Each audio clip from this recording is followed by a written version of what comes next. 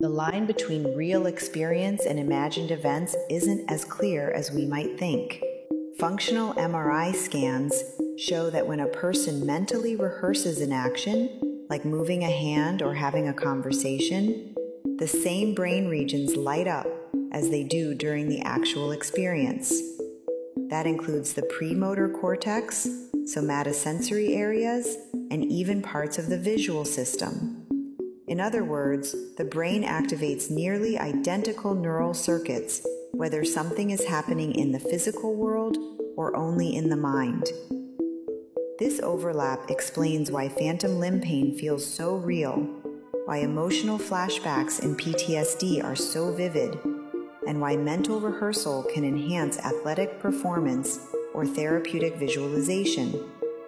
To the brain, a vivid mental image is already an experience.